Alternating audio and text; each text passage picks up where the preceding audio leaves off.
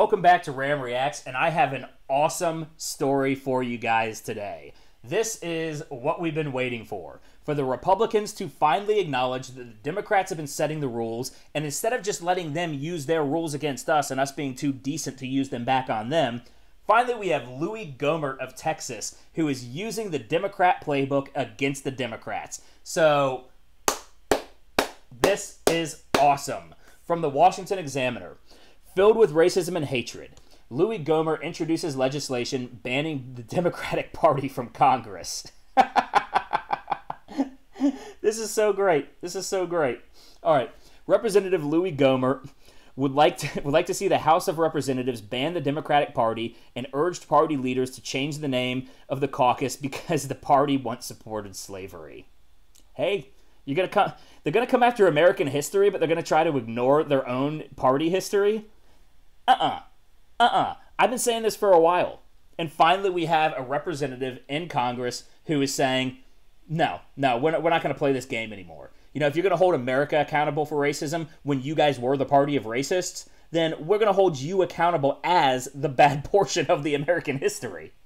They, they keep wanting they keep wanting us to just gloss over that very inconvenient fact for them. Um, as a great portion of the history of the Democratic Party is filled with racism and hatred, Gohmert said. Uh, and here's here's here's where I think he he maybe could have gone a little further. Yes, a great portion of the history of the Democratic Party is filled with racism and hatred, but most people think that that racist history stops in the 1960s with the passing of the Great Society and the Civil Rights Act. Um, actually, well, they think it stopped with the passing of the, the, the Civil Rights Act, but it continued with the Great Society uh, which is a communist name for a uh, for a government project if I've ever heard one. It almost sounds like Mao's Great Leap Forward. Um, so yeah, a lot of people think that the Democratic Party, the party's flipped, which is bullshit. Well, I think only only two only two Dixiecrats switched to the Republican Party in that time, and one of them was Strom Thurmond, who ended up becoming less racist and became, I think, one of the first one of the first people to actually have black uh, black assistants and aides working under him in his in his office. So he actually switched because he became less racist.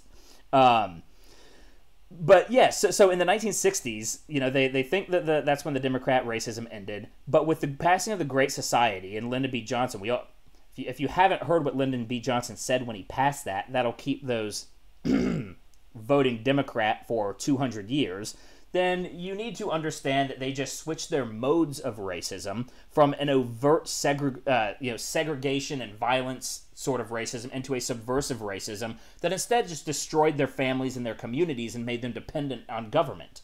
You know, the the great uh, the Great Society, aka you know the American Great Leap Forward.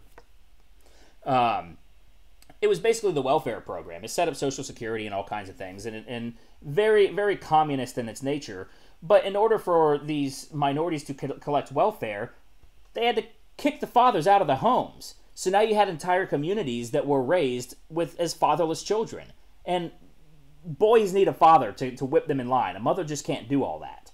So their racism did not end in the 1960s. It continued, and it continues to this day as they are now the party that is embracing intersectionalism or intersectionality.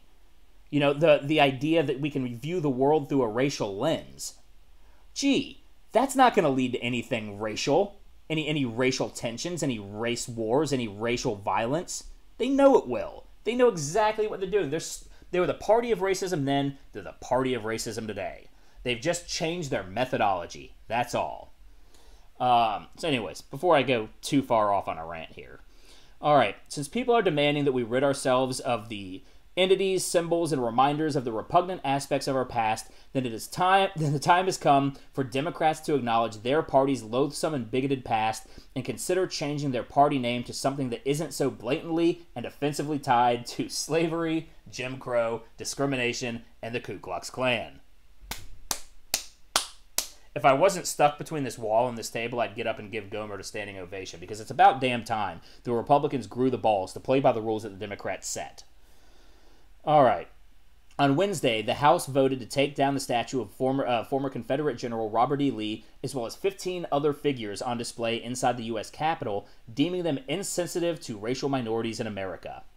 For those of us who are sons of the South, who uh, those of us who have endured hardship, discrimination, and a lot of things that are very difficult to even talk about. For this moment in time where we are today, where we are going to start the process of healing and setting the record straight as it relates to the real history of this country, it is fitting and proper that those individuals who fought to keep many of our ancestors enslaved should not should should not have been recognized in a place where people are trying or, or, or, or hold on should not have to be recognized in a place where people who do good expect to be recognized, said Representative Bennie Thompson, a Democrat.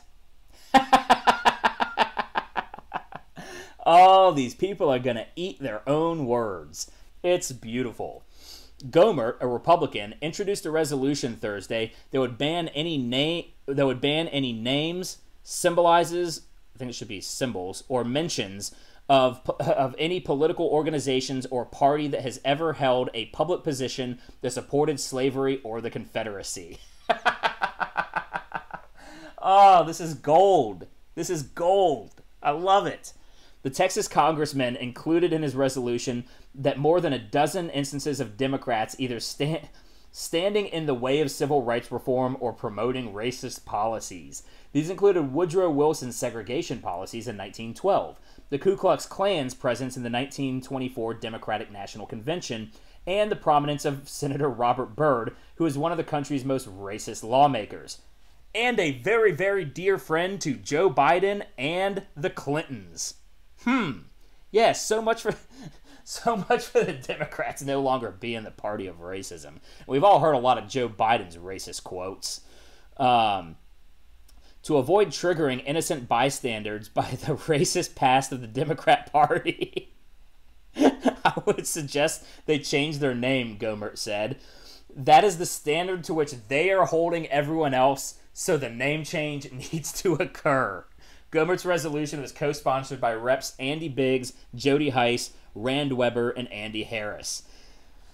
This is just a fun story. I hope this passes, or at least the, the least the very least that I hope to come from this is that we start holding Democrats to the same standards that they hold everyone else. Because I am sick and goddamn tired of all of the double standards where they get to just run rampant with whatever they want to do. And if we do anything that even resembles what they actually do, we get called all kinds of whatever. What I mean, I, am not even framing that in a, in a racial or bigoted connotation, but it's just anything that they do, they're they're totally okay to do. But we do anything, and there's some sort of travesty attached to it, and that that is the double standard that I am loving Gohmert standing up to here. This is an excellent bill. I hope it passes, and I hope it awakens people not only to the double standards that are set, but to the racist history of the Democratic Party, because they absolutely he's absolutely right. If these are the standards that are set, they should have to change their name. In fact, I think they should. We should all we should all hold each and every Democrat in office responsible for running under the banner of a Democrat with that racist history. Right? Right? Kick them all out. A new party can form. Maybe the Libertarian Party becomes the, the, the new second party. And then the Democrats just become a relic of America's racist past, and we'll just be one step closer to giving Black Lives Matter what they want. Well, not the real Black Lives Matter, because we all know they're cultural Marxists who actually just want the destruction of America. But for the people who actually believe Black Lives Matter is just based on a sentiment and not a Marxist ideology. Anyways, guys, uh, I, I always forget to do my shameless plugs, so if you haven't yet, please subscribe, hit the notification bell, drop a comment, like, share this video really share this video because this is a fun one. Um, also, also, please don't forget to follow me on Facebook, Twitter, Instagram, and Parler at Ram Thorburn. I will admit I am most active on Facebook and Parler. I know I'm a dinosaur on Facebook, but whatever. Um, also, if you would like to help contribute to the channel, there are links to my PayPal, Patreon, and Subscribestar down in the description below. So anyways, guys, I hope you enjoyed this video, and please share it. let's hope this goes somewhere. Um, but yeah, let your friends know. So Republicans are waking up, and this is great. So, anyways, guys, you have a good night.